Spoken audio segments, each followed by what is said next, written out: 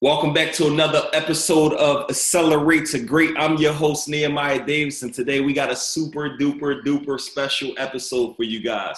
So you guys already know I am I am adamant about helping more people start businesses in 2019. I am adamant about helping more people fire their boss if that's the option they want. I am adamant about helping more people get their story told. I am adamant about helping you become the most successful individual that you can possibly be, right? And one of the keys to becoming successful and generating more money, I believe, is getting your story out there, right? Literally, I believe getting your story out here. So today's podcast episode is going to be about how to get your story out here, how to monetize your own story. And I figured, hey, I think the best person to interview, although I have three books. I said, yo, I need to interview my brother Shawn. Number one, he got multiple books out here. He helped dozens and dozens and dozens of people become authors why would I go anywhere else than for him to come share this information? So I get the opportunity to bring my brother Shawn to this platform, guys. He's a world traveler. He produced several books, have helped several other people produce books. We had the opportunity to speak together at the White House. I had the opportunity to first see him speaking at a conference where he really motivated me and empowered me to just take even more action over my life. And since then, we become partners. We work together. We're friend tours. And our ultimate goal is to help each other succeed and win. But my ultimate goal is to help you do the exact same thing. So without further ado, I want to bring world renowned artist, author, and all around amazing brother Shawn to the uh, line. How you doing, brother? Man, I'm good, man. You know what? I need you to do my intros wherever we going. I need you to go ahead and intro me, bro. Thank you, man. I appreciate you. Hey, it got to be done right, bro. And when I say artist, guys, because I don't want people, not a music artist. When I say artist, anyone who's producing on their own, I look at them as an artist. So they're designing their own life. So just for anyone like, he does music? No, he don't, doesn't do music. when I say artist, someone who's literally taking a pen and pad and they're writing their own future. So, hey, bro, I'm really happy uh, for you to be here. And um, I don't, I don't want you to go too deep into it, but a lot of people, Shawn, they be like, oh, he was born with money. Someone gave him something. But I know my dad been in jail since I was two for murder. I know you you was a was a crack baby. So I want people to understand a little bit of your background and how you got to where you are because a lot of people are like, oh, they was given something. No, we literally work hard for everything that we have. So I kind of want you to uh, spend a couple minutes on your background. Yeah, and you know what? I like to even say, man, you know, one thing that we were given was hunger. You know what I'm saying? Yeah. So sometimes I know that Tony Robbins always talks about the people that are the most successful in the world. Uh, when you really look at their stories, they have these stories of triumph and these stories of overcoming because as an entrepreneur, man, we're solving problems every single day. It's another fire to put out every day. And you got to have the guts. You got to have the ability to say, oh, this didn't work. I'm to learn from it and keep going. And that don't really come from the silver spoon. That comes from having that those guts inside of you and that ability to keep moving it no matter what and that comes from coming from backgrounds like ours. So my background, of course, yes, uh, I was a crack baby, uh, which is always interesting. I have a, a book titled "How About That for a Crack Baby." It's a bestseller, and the interesting thing about that, man, I have uh, seven brothers, in which three are unfortunately deceased, and three have been to prison. Um, God bless all my bros. And my mom, you know, she was a professional shoplifter. I love her. That's like she started me with entrepreneurship. You know, I, I got my own custom suit company because my mom was she started with the shoplifting realm, and for me, I said, hey, well, you know, it's all about selling clothes. I can just flip the product the way I can do it and make this legal. And even my brothers, even you know, my my dad was absent, but even with my brothers, I started selling drugs when I was 11 years old. But that also started the entrepreneurial journey, right? So it's an interesting background from Detroit. The high school I went to had about a 40% graduation rate. I didn't know anybody in college at all, man. And it was just by the time I was 15, I, I was at a point where I was uh, adopting my younger brother who was five years younger than me. And I got a mentor in my life. I listened to her because she was beautiful. One thing led to another. I messed around, went to college, multiple degrees later, all type of accolades and awards. Now I got to have, now I get an opportunity to have conversations with brothers as such as great as yourself, man. So it's been a journey, but I'm here, man. Hey, bro, and I'm very happy that you're here, and I'm very happy that you uh made it a point to serve other people because you kind of could have been selfish, Shawn, and was like, "Nah, I'm just gonna help myself," but you made a decision that you wanted to help a lot of people. So listen, we really want to make today. I want you guys to uh, get out your pen, get out your pad, because I really want to help people become an author after today, right? I want y'all to at least get some of the game and some of the strategies to help you become that because why shouldn't you write your story? Why shouldn't you have a book that's going to get you paid? And here's my thing, Shawn. The thing that I love about a book, right? A lot of times I've been telling people, hey, we gotta we gotta learn and unlearn, right? Society has told us, hey, go get a good job, follow that same path your entire life. But society has never told us, hey, create a book. Hey, you need to start a business. Hey, you need to monetize uh, your influence. Hey, you need to be able to generate income that you don't necessarily have to work for. And the reason why I love a book because I believe it's unlike many other products because it is literally something you could create once and get paid forever, over and over and over again. A lot of people say, I say, hey, what's your favorite book? A lot of people like Think and Grow Rich, Rich Dad, Poor Dad. And the families of the people who created these books, Robert Kiyosaki is still here. Think and Grow Rich, long gone. But these people are generating millions annually off of a story that they created one time. J.K. Rowling, she created Harry Potter. That made her a billionaire. It's going to make her kids, her kids, kids, kids, kids, kids will never want for anything off of her creating something one time.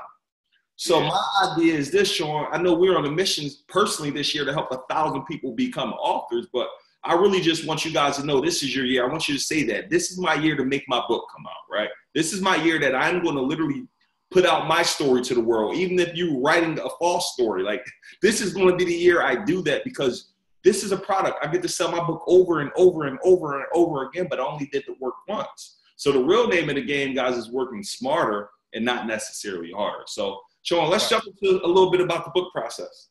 And you know what? I, I want to make sure people understand this too, man, because you'll get people that talk about uh, making money from books and look at it from a one dimensional perspective by just thinking that, oh, people are going to read my book, so I'll make money from that. You got to understand a book is your intellectual property uh, book, right? It's your intellectual property and it's a business card, right? So you got to understand that the products and services that you offer are in the front and the back of that book when what other time will you actually get the opportunity to hold somebody's attention for hours right?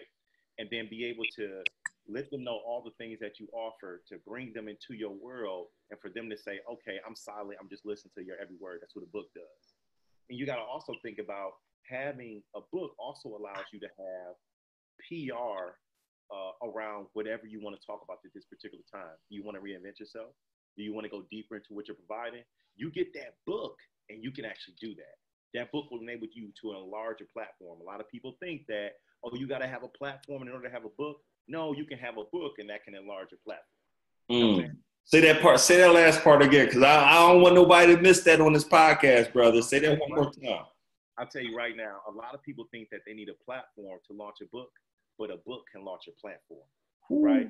Let's be very clear about that. So when you actually are able really thinking about considering doing a book, if you have a story, a message, or expertise, or a combination of those three, you need to get it out here. It's your intellectual property business card, and you don't want to be caught in the world without one when you have something to say.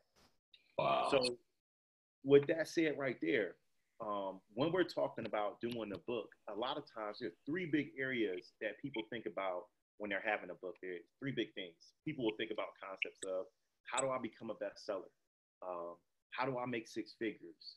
Or they may ask themselves, like, man, how do I even get it done? Because before I could be a bestseller or even make six figures, I got to produce the book in the first place, right? Mm-hmm. So it's a matter of knowing that can you get this book done efficiently and effectively in a nice time period? Uh, and then once you have it done, understanding this, writing it is 5%, selling it is 95%. Mm. Right? Also understanding this, a million people publish a book a year over half of them are self-published authors. The average self-published author is only seven 250 books, but why? Because what they're doing is they're so focused on writing that they haven't focused on selling. Mm. So really understanding the concept of selling the book and making sure that people can get their eyes on your book, not just because you're trying to exchange it just to get a dollar, but you want to really add real value to somebody's life. You got to put you, you're going to put your your blood, sweat, and tears into a book. But sometimes what people need, such as myself, or I think everybody, everybody needs a mentor. And in order for me to have a book where I was able to, you know, make over 20,000 on my first launch and um, multiple six figures since my first book has come out, And the, the reason I've been able to do that is because I tap into mentors. Everybody needs a mentor. You don't want to go into no mission alone. It's kind of like this, basically. If you want to be a pro at anything, you're not going to catch LeBron, Kobe, Michael Jordan. Every last one of them got something in common, and it's called a coach, aka I'll call it a mentor, right? Mm. So if you want to do anything on a pro level, you gotta have a mentor. So when it comes down to having a book, make sure you have your book mentor. If it comes down to whatever you're doing from an entrepreneurial standpoint, make sure you have your mentor so you can move forward. So with that said, we have some principles and some ideas and concepts to make sure that you have a mentor even right here as it relates to putting out your self-published book. Yeah. So uh, with that said, I would say this one. When it comes down to making sure that you can actually put a book together, one thing you want to do is be very authentic. Okay. A lot of times people may put out a book of what they think people want to hear. But it's not about what people, what you think people want to hear, as much as it about what's true about you that people want to hear. Right? You got to put that first part out there because if you're doing something and it's not authentic and real, then it can't really help anybody and it's going to be very short lived. But if you want something like a Think and Grow Rich or anything like that, you can get it done. And a way to be authentic, especially if you want a topic that you're not even an expert over, interview other people that are experts over Put out a book about it. That's exactly what Napoleon Hill did in Think and Grow Rich. And furthermore, beyond that, if you want to be an expert in any particular area, I like to make sure people can tap into the five way expert rule. You got to catch this one. The five way expert rule. And when you put this into your book and prove to people that you're an expert over a subject matter, this is when people will take you super duper serious. Five way expert rule is just like this.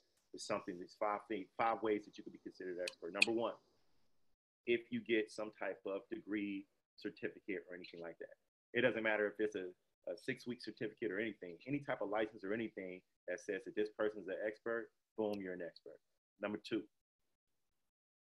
Malcolm Gladwell says put 10,000 hours in. Well, you could put in 10,000 hours, 10,000 hours, but really it's just a matter of time. You can say, for the last three years, I've done this, last four years, five years, whatever it is. Time can make you an expert.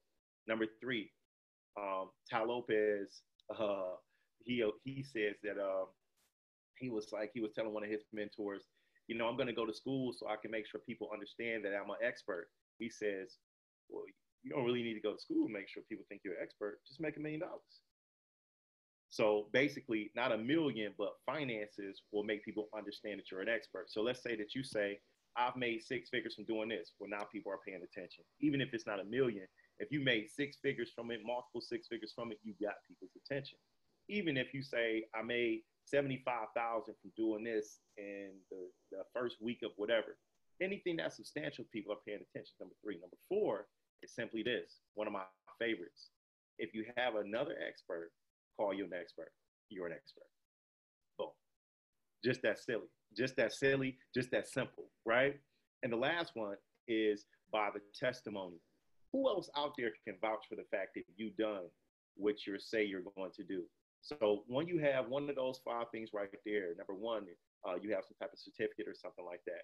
Number two, um, you can say that it's a matter of time. Number three, it's a matter of money. Number four, an expert calls you an expert. Number five, the testimony. Once you do those right there, or any combination of any one of those, put that, take that, put it inside a book, and speak on that topic.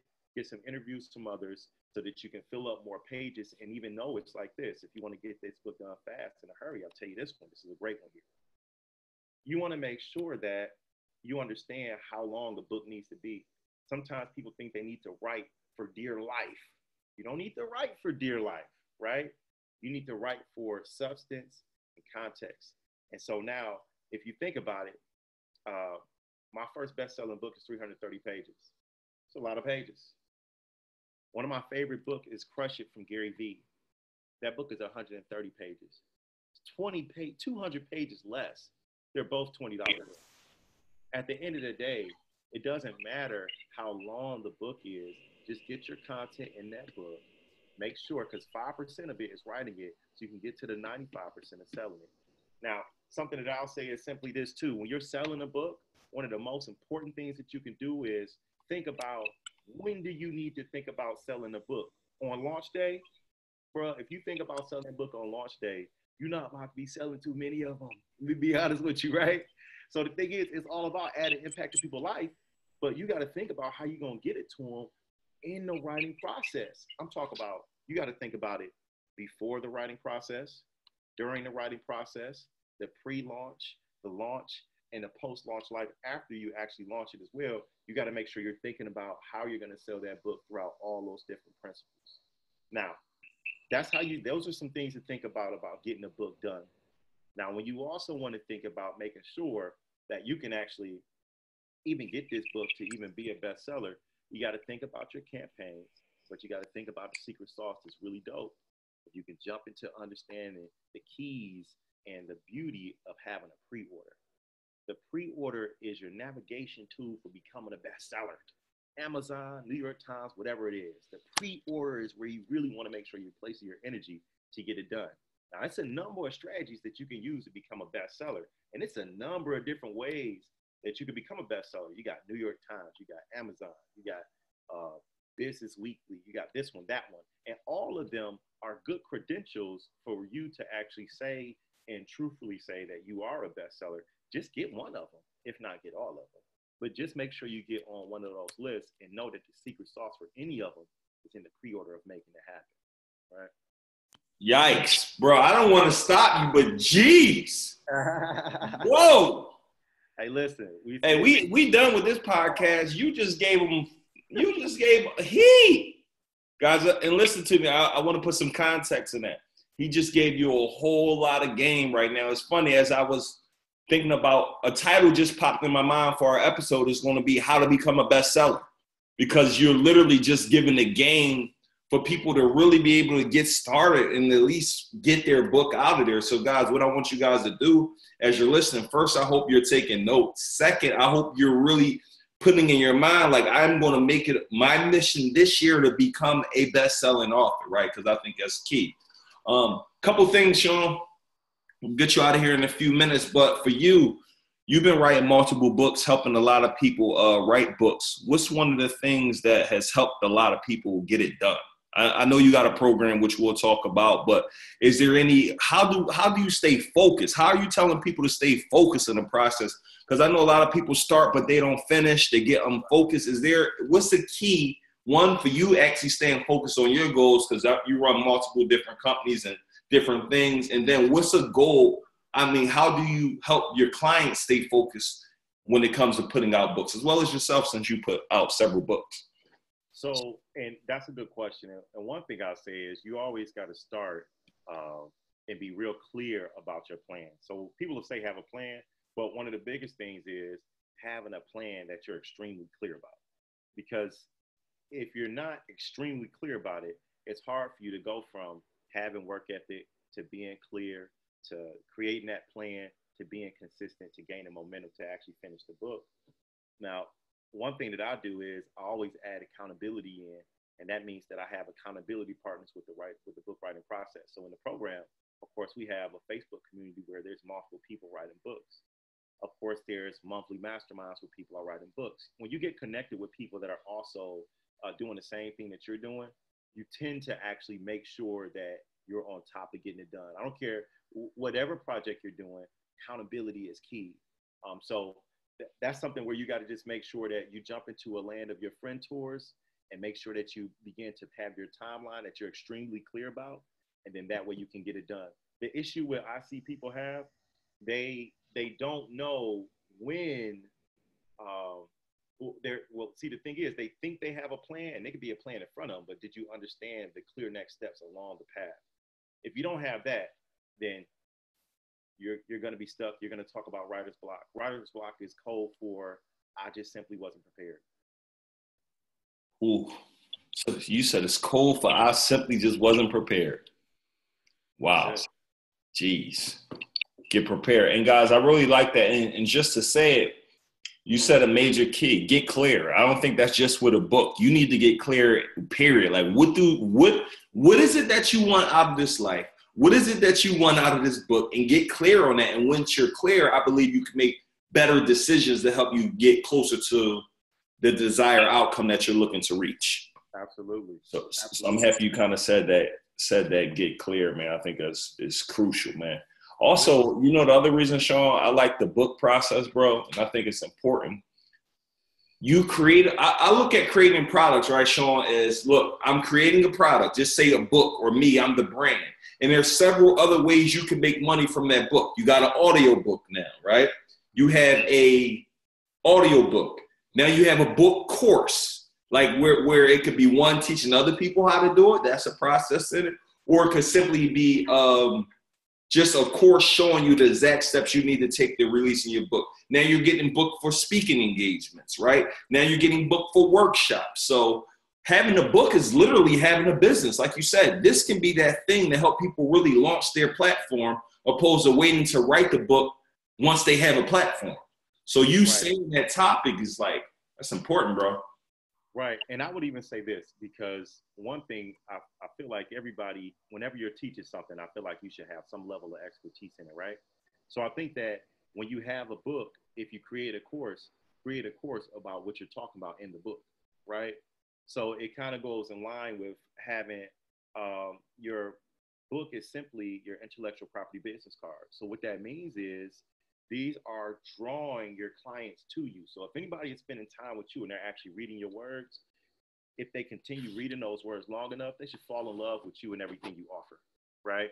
So once they fall in love with you and everything that you offer, you have to make sure that if you have an academy, you have to make sure if you have an additional product, if you have like a t-shirt company or brand or anything, whatever you have, you have a mission. So it's not even just selling products and services, but also the mission that you're on. If you want to help more people by doing a, B, and C. You want to be able to make sure you can activate the fact that you're doing A, B, and C so that other people can join you in that mission. And not only that, I will say this the book, this whole platform with the book, like you said, you can sell the book, you can sell a course, you can sell a curriculum, you could do a workbook, you could be speaking. Listen, man, it goes on and on and on and on, but that foundation starts with the book because since the book declares that it's your it's your honorary PhD, it's already giving you the right to speak about this topic and expand your platform. That's major. And uh, I know you talk about mentors and uh, as well as I, I, find a lot of mentors in books. So a lot of my mentors, they're not, I don't physically have access to them, but I'm reading their books, I'm learning from them. So one, share with me a few of your favorite books that kind of made an impact on your life and maybe who are some of the people you're currently learning from or mentors that you're seeking out advice from because we're constantly in a stage of constantly adding new mentors for us to learn. We, we one thing that Shawn and I do, we have increased our teachability index because we understand like in order for us to get to the next level, we have to learn from people who are next level. In order for us to increase our income, we have to learn cutting edge strategies. We got to actually take action on the information that our various mentors are teaching us. So with us just couple of your recommended books and uh, maybe some people you're currently learning from. Maybe some other people might want to check them out as well. Absolutely, man. So, and this is see, and this is why this is why I love it so much, bro, because it's when you when you you are a product, you're a product of information that people need to get to the next level. Me too, right?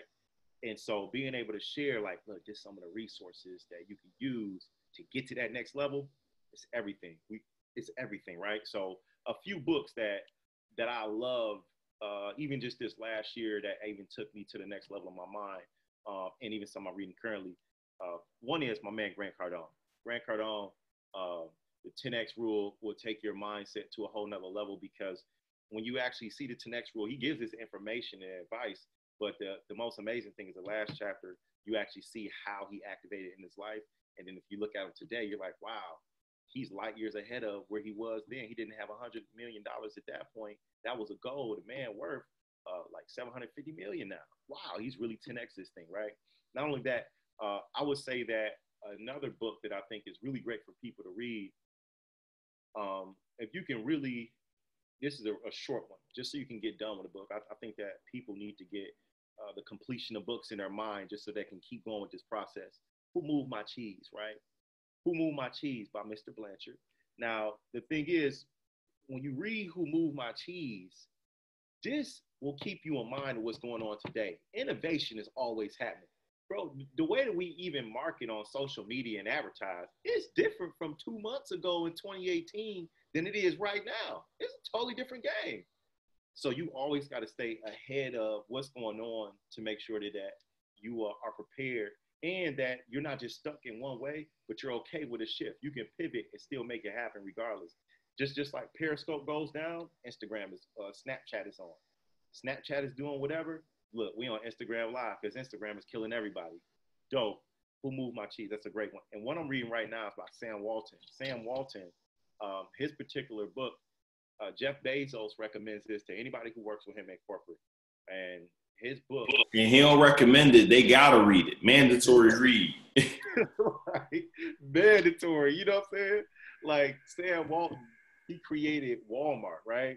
They gotta read this book. And so I'm actually diving into that one right now. That's good, Shawn. I read it several years ago, bro. And you that dude was a legend. He was doing this before they had social media. I mean, they didn't have how we the ease of us getting our message out to an audience is instantaneous. Yeah. He had to build brick and mortar businesses. He had to go charter his uh, helicopter or his uh, plane and go fly over and see potential places. It's just the mindset that he had was light years light years ahead, bro. But I'll tell you what, it's the same savage. Yeah, yeah. It's the same savage. Like, it, and, and, that's what gets me. That's what that's what inspires me, and that's why I love us being French tours, right? My man Neo inspires me because I see how hard you go, right? And it inspires me to say, "Oh, you know, I don't, I don't like the word competition. I, I like to to call it collaboration, right? Because I'm just like, it's collaborating with my bro. My bro doing this good energy. I'm doing this good energy. This is collaboration to make all of us better by going harder. And when I see cats like Sam Walton, uh, Grant Cardone, I can see like any anybody in the game that's going hard. That is motivation to pound the ground because you know you have value. Period. You have value. You got a story. Period. You got an expertise. Period. You got to get that out there and make it happen. And just to add, Shawn, I think that collaboration is so important. And I want to give you guys a tip. I want you guys to actually go take action on this. And that's the thing that's going to be different from our podcast is I don't just want to talk, talk, talk, talk, talk. I want you to hear the hear these hacks. I want you to say, hey, hey Neil, I used them. Hey Shawn, thank you so much for the advice. And and I just I can assure you, you're going to go so far in life if you're willing to take action. So I'll give you a quick one. When I was growing up, or when I had my first business, the second business I had, one, I had a fruit truck, two, I had a cleaning company. Most people's mind is, hey, I see people in the dump dumping off their trash, right, Shawn? They're like, you're my competitor. Oh, they're taking all the work from me. Hey, I'm going to go talk to them. Hey, my name's Nehemiah. I just got started in this business. Um, I wanted to give you my number. If you ever had any extra work or if you ever need any help on a job, let me know, right? And most people like they grunt their face at the competitor. I'm like, no, I'm connecting with them because here's the thing about most people. You can't do all of the work. They said, Shawn, right now, 600, 600 million is being spent every single month on digital products. Shawn will never sell 600 million by himself. And I'm not saying I'm not being negative, but I'm being realistic. You got hundreds and thousands of people who is getting a piece of that 600 million. One person will not capture the full market simply because people like to learn from different people, certain people. Uh, Shawn's guys, Grant Cardone's. Mine may be uh, Russell Brunson. Everyone has a lead person who they likes to get information from. So one, if we're all being competitive, all of these big people, they work together. Russell Brunson works with Grant Cardone, right? Grant Cardone works with ET. ET may work with Andy Frisella. Andy Frisella may work with Cole Hatter. All of these legends who people look at as legends, they all work together because they know one person isn't going to corner the market share. So when I had my business, I would go to these everyone. Hey, my name is Nehemiah. This is what I do. Uh, if I can ever help you, blah blah blah, let me know. And that's what I would do. And guess what? Most of my business started coming from my competitors. Why? Because they couldn't handle all the work and some jobs were beneath them. So they gave those jobs to me. And then when I got to a certain level, I couldn't handle the jobs. I gave it to someone else. But what if I made them my competitors, Shawn? Uh, we wouldn't be getting a business. That's right. Make them collaborators, man. Collaboration over competition all day long. And just to add, Shawn, on the same block as my the foundation, our event center, there's someone five doors down. I just messaged her earlier. Hey, you got a event? You got a space Sunday? But what if I say, yo, you're gonna be my competition? We right. pass jobs to one another. Right. So guys, I need you to change the paradigm shift the way you look at competition. Yes, there is competition, but I prefer collaboration uh, yeah. because I believe we could go a lot further together. Absolutely. So, to add that. Absolutely. So, Shawn, I ain't gonna hold you up. I know I'm incredibly busy. Uh, your day is. Any last words you want to share with people? Then I'm gonna uh, I'm gonna ask you to talk about the program, and maybe we'll drop like a link in the show notes. I know you and I also did a program together. We'll drop it in the notes so people can be able to get their book out this year, since I know that's a goal of several people. But any last words of advice you want to share with people? Because we want people to max out 2019.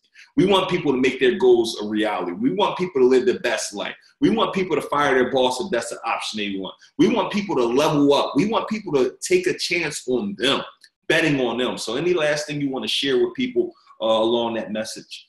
Absolutely, man. I want everybody to know that you lack absolutely nothing.